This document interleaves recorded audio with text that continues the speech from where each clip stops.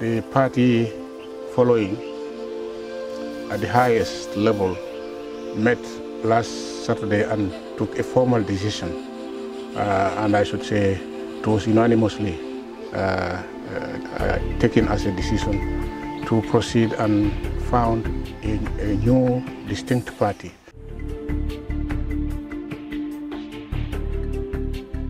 Will it be fair to, to, to, refer to Gambia for All, the new political party in the offing, as a breakaway PPP faction?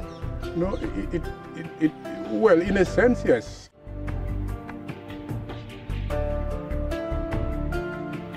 Would disgruntlement be a fair description to refer to you as disgruntled, you know, members of PPP? No, I think that would be very unfair. You see, this issue is far more than the question of the declared result of the leadership election. It is far more than the question of Bakari Dabo winning or losing or somebody else winning or losing. It's far more than that.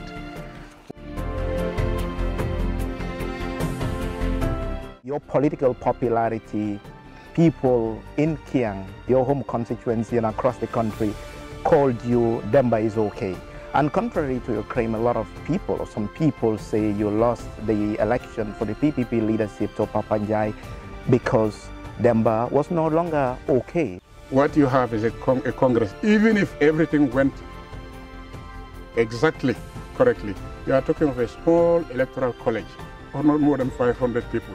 So their views need not really rep represent, they need not rep represent the views of the broader following.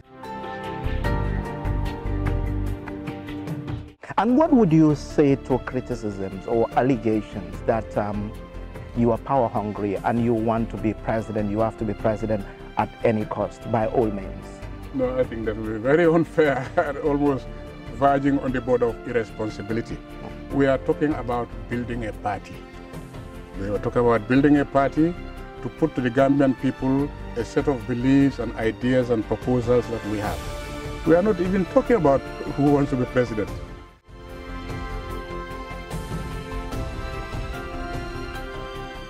Let's take a little trip down memory lane. 1994, after the coup, um, you were appointed by then, you know, AFPRC junta leader to serve as finance minister. A lot of people saw this as a disappointment. A lot of people were surprised.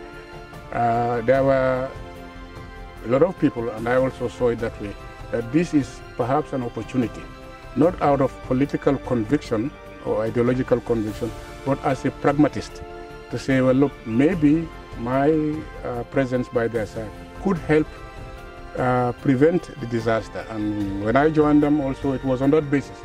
That first thing, to agree on the fact that we saw the military intervention as an aberration